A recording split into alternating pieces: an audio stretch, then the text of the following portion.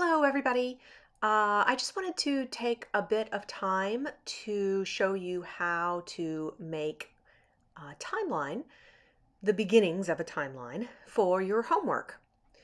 So the first thing that you're going to do is go to the Timeline.js website and create a copy of the template.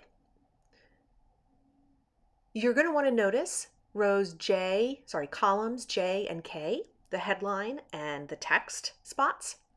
This is where you're going to be doing most of your work for the time being. You can ignore everything else, okay? Um, now, on the right side of the screen, you'll notice that I have the um, story and plot document that I had created a while ago about the black cat. This has plot elements, it's also got story elements. I strongly encourage you to write down all of the events that you can remember happening in the story. You'll want to go back through the story, write them all down. You can put it in a Word document or a Google document or something like this.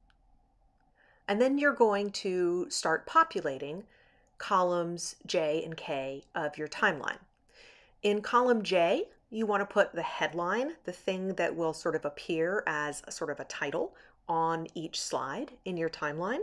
So you want to make it short, sweet, um, you know, specific.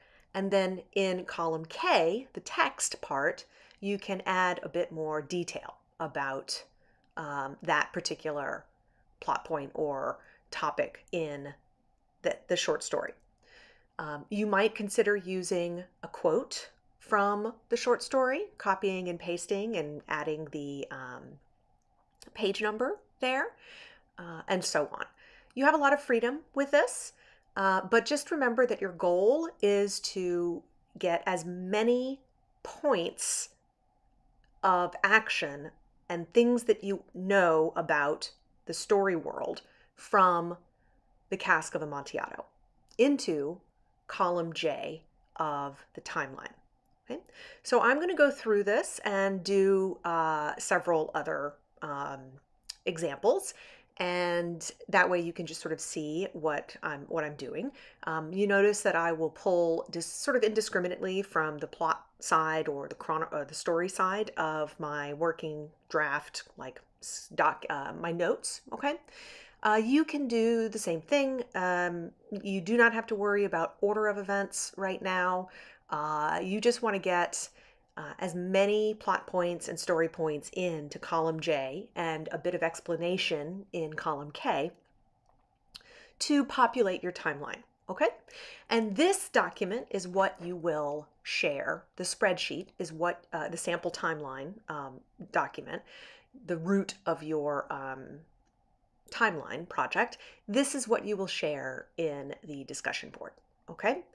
Uh, and that is what I'm looking for for class on Monday. Remember, we are not meeting in class personally on Monday, but you will continue working on your uh, timeline um, for homework, okay? And post uh, an updated version of your timeline spreadsheet to the discussion board. So you're going to be working on this on your own for the next several days.